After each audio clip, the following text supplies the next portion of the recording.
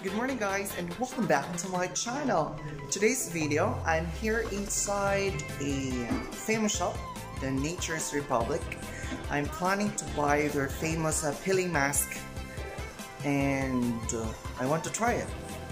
If it is effective or not. And disclaimer po, it is not sponsored by the product or the company but I really want to try their products if it is effective. So guys, please keep on watching.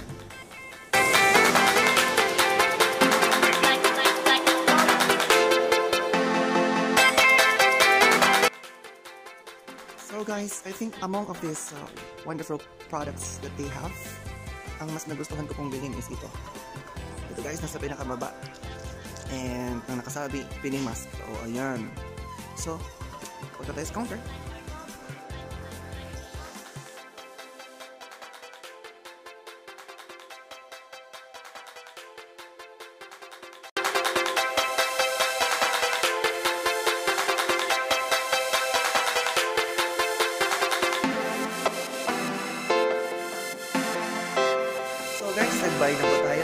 Done. I have here and uh, tingnan natin kung ito ba effective. Madam Shukran! Bye! So ayan na nga po guys, na nakauwi na po tayo sa ating bahay at nandito na po ating binili kanina. I hope na hindi na po mas lumala pa ang aking mga sumpa sa mukha. Ayan guys, 1, 2, 3, and 4. May apat po tayong sumisibol na mga sumpa sa kalibutan. And I hope that this uh, product ay makakapag-minimize sa kanyang pag, uh, ano, pagsibol o pagtubo ng ating mga sumpa sa kalibutan. And then, as I Sir, parang ang hirap talaga yung basahin guys kasi kung alam, ayan oh, ano siya, Korean letters na I hope, pero doon mga illustration na nakalagay niya is we need to wash our face, clean our face, and then mag-apply ng toner, tu- toner, toner, toner, mag-apply ng toner, saka siya mag, mag-apply ng ganitong product. I hope guys, na tomorrow, walang masumpa na mangyayari sa ating mga mukha. So are you excited? Me excited? You excited? We are both excited. so guys, sabay-bayan natin to. So guys, tapos na po tayo magugas ng ating mukha and sorry for this improvised headband. Sleeves lang po to ng aking t-shirt at ginupit lang ngayon. No? Low cost. Low cost? Ano? Dulon? Tawang-tawa sa sarili, tawang-tawa sa self. Ayun guys, so after nating nahugas ng ating mukha and then mag-apply po tayo ng ating toner. Pati yung toner natin improvised din kasi malapit na maubos. Galing po talaga to siya sa The Body Shop. Sa to nandun ako kanina kaso wala na po silang stocks para sa kanilang um, line na tea tree. So spray-spray lang natin to. Then apply natin yung The Nature Republic na mask. Ayan, no? Then, tap-tap lang natin guys kasi nagtitipid tayo. Okay. Done and done and konting-konting ganyan-ganyan. Okay, good. And then, tadang! Ito na ating gagamitin. Sobrang liwanag yata, no? Dami ng ilaw sa bahay.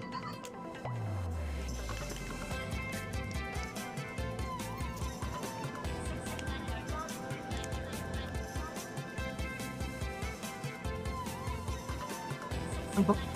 Wala siyang amoy guys, pero may something siya na, no? Na mild. Okay. Okay, parang siyang tubig. Parang siyang tubig guys. Tubig na parang serum na iwan ko. So, tapos na tayo sa step 1. Sa step 2 tayo ngayon.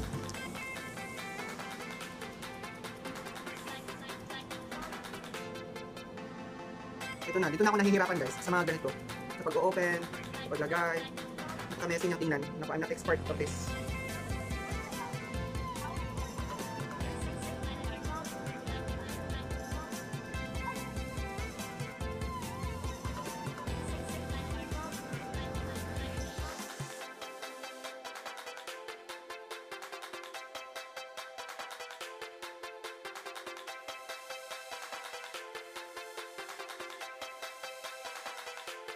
So, ayan na guys, tinanggal na po natin ang ating mask.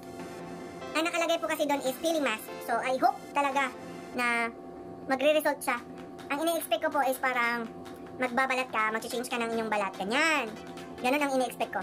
So, since may mga natira pang ano dito, ayun o. Ayun, may mga natitira pa siyang serum. Talaga, talagang kailangan siyang, kailangan talaga siyang pigain guys. Kasi ito yung mga binabayaran natin. Nagtitipid. Sobrang titib ba, self? Ayan, so apply lang na po natin. ulit sa ating mukha. Ayan. Para po talaga, yung ating binayaran guys is talagang ano, sulit na sulit. Naku, baka wala na akong, baka wala na akong mukha bukas guys. Naku, nakakatakot. Ayan. So, ayan.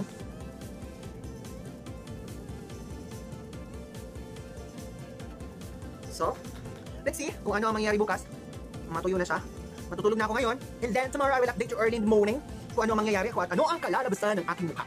So guys, see you tomorrow. So good morning guys. It's 9 o'clock already. It's Saudi time. And I f- nakikita niyo bang nakikita ko? My skin is kung tingnan niyo para siyang oily. Pero hindi siya oily guys, oh. Promise. It seems like nag-glow talaga siya. Glowy, dewy, pa. Ay, I love na. Love ko na to. Maybe it's time na mapalitan na ang The Face Shop. the face mask. Mag-change into Nature Republic. I don't know. Pero, as I observe nyo, parang ano talaga siya guys. Makita, nakita glowy. Hmm? Kita niyan? Shiny something na, hmm, panalo. So, masarap yung ating uh, 15 real sa isang song. Pero ang promising doon is, ay yung sinasabi na doon is, gusto, feeling, feeling talaga, or mali ang aking pagkaintindi. Let's take a bath, at titingnan natin kung So guys, tapos na po tayo naligo, no?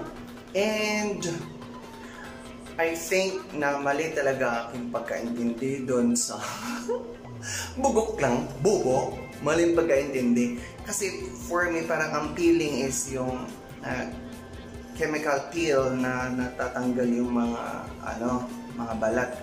But uh, naisip ko rin sa halagang 15 reals, may ganun na.